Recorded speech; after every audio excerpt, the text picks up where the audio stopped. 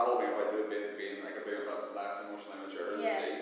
It is yeah. true, it back to what you were saying about like how teams already dealt with a lot of their uh, issues, like he came out the RN going like, oh, okay, whereas you just need to like, do a thing. You come out still feeling straight, just annoyed with the fact he decided to do it. I think that's incredibly, incredibly insightful that was really whole thing yeah. with Maybe he feels yeah. this to some level, he feels that well, this guy can help, but he doesn't know how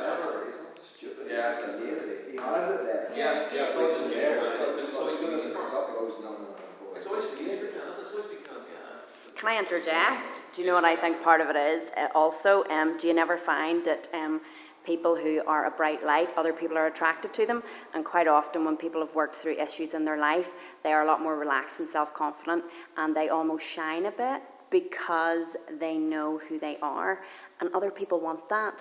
Other people are attracted to that and they want that calmness and peace in their life. And so Dean has a little bit of that.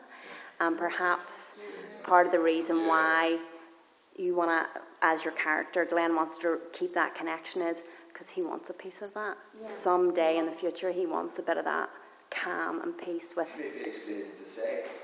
you.